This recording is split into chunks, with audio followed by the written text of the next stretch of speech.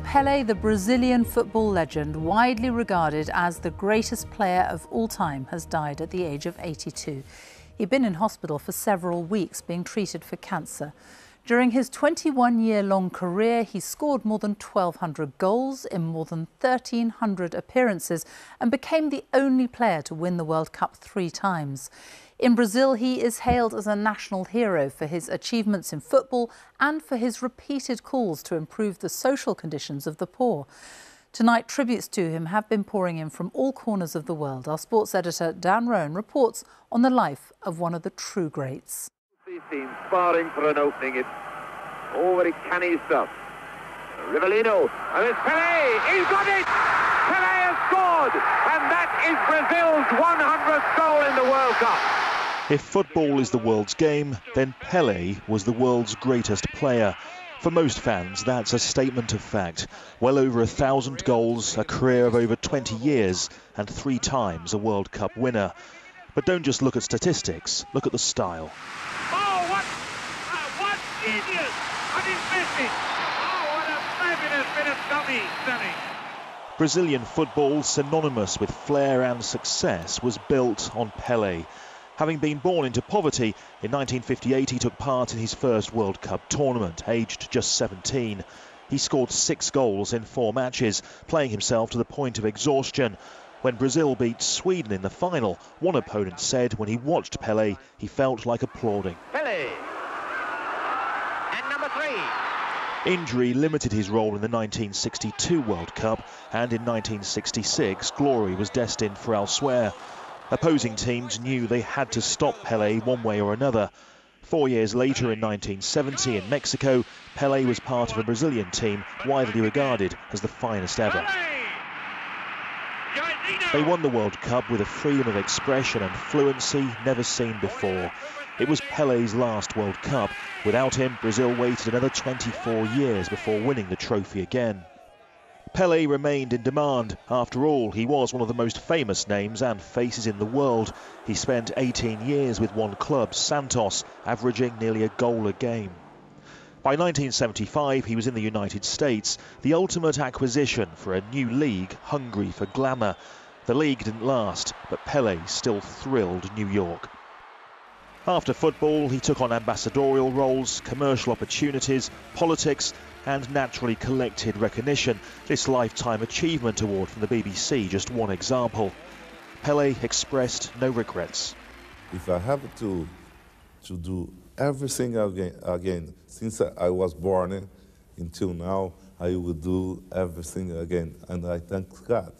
Pele had been receiving treatment for colon cancer for some time, and amid reports that his condition was worsening, his presence was felt throughout Brazil's campaign at the recent World Cup in Qatar. Last week, his daughter posted this update from her father's bedside in hospital in Sao Paulo. And tonight, she confirmed his death, saying, Everything we are is thanks to you. He's unquestionably one of the greatest football players that's ever lived and you have to be a certain age, of course, and um, I'm one of those people um, that were lucky enough to see him. Um, my first World Cup I remember was 1970, that brilliant Brazilian side that he was the, the star of, and um, he had a profound effect on, on my love of football. The popularity of football, the very idea of what makes it entertaining, began more than with any other man. Edson Arantes do Nascimento simply Pele. Well, tonight the arch at Wembley Stadium has been lit up in the colours of Brazil as tributes pour in to the man many called the King. The French football star Kylian Mbappe said the king of football has left us, but his legacy will never be forgotten. And the Brazilian star Neymar said Pele turned football into art, into entertainment. He gave voice to the poor, visibility to Brazil. Our sports correspondent Joe Wilson reports on the reaction to his death. You didn't need to meet Pele to feel that you knew him. Anyone with the slightest connection to football, with the slenderest interest in sport, grew up with Pele's image, with his reputation. Many visited the museum. Some remember the matches. Among Pele's contemporaries were some of England's most famous players, like Gordon Banks. Like another England World Cup winner, Sir Geoff Hurst. He wrote on social media, I have so many memories of Pele. Without doubt, the best footballer I ever played against, with Bobby Moore the best footballer I played alongside. For me, Pele remains the greatest of all time, and I was proud to be on the pitch with him. R.I.P. Pele, and thank you. And here are some tributes from today's brightest stars. Lionel Messi wrote simply, Rest in peace, Pele. Cristiano Ronaldo said, The love you always showed me was reciprocated in every moment we shared, even from distance. He will never be forgotten, and his memory will live forever in each and every one of us football lovers. In Brazil, Pele's nearest current equivalent is Neymar. From him, I would say before Pele, football was just a sport. Pele has changed everything. He turned football into art, into entertainment. He gave a voice to the poor, to black people, and mostly gave visibility to Brazil. The deep respect spans generations, it spans sports too. When Usain Bolt describes Pele as a sporting legend, the word has the context it truly deserves. What Pele stood for and still represents is joy. Without that, what is sport? Pele, over. His career took football from black and white images to its fullest, boldest colours, to its global status. Why else would Wembley's arch be changed to the colours of Brazil, of joy, the colours of Pele? Joe Wilson, BBC News. Our South America correspondent Katie Watson is outside the hospital in Sao Paulo where uh, Pele died earlier today. And Katie, tell us more about the reaction there in Brazil. Well, this was a moment that every Brazilian knew was going to happen, but at the same time, of course, dreaded. And behind me, where he died just a few hours ago, there are there's press from around the world.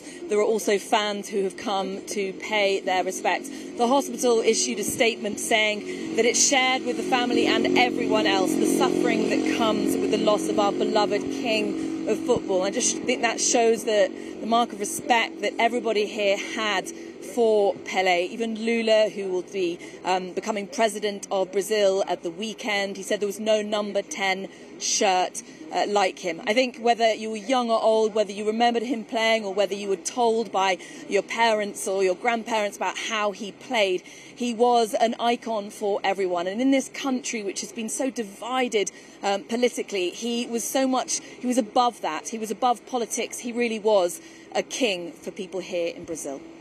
Katie, thank you. And let's get a final word from our sports editor, Dan Roan, who's at the BBC Sports Centre in Salford. And just, just give us an idea. I mean, we've got one already, but how Pele will be remembered.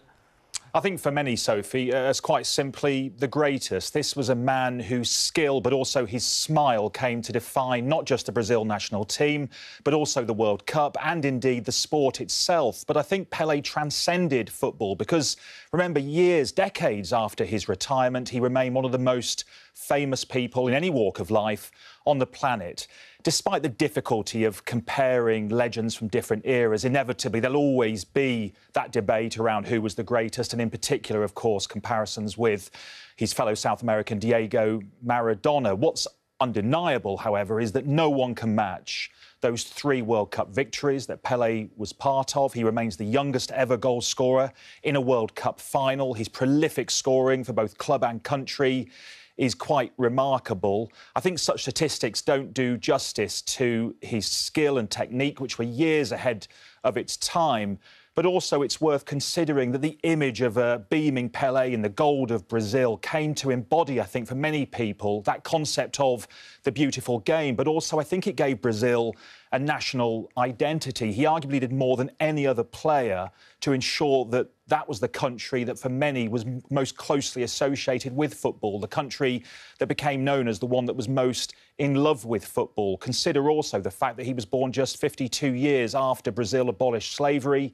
He became one of the first black global sporting superstars. He was vocal about the need for greater education in his country as well. It's testament to the impact that he made, the outpouring of tributes this evening. But I think for many football fans around the world, it's the skill above all and the smile that will define this player. He was known as the King, and it does seem a very fitting nickname given the majesty of his skill. And I think for many, he will be more than any other footballer the player who made the game beautiful.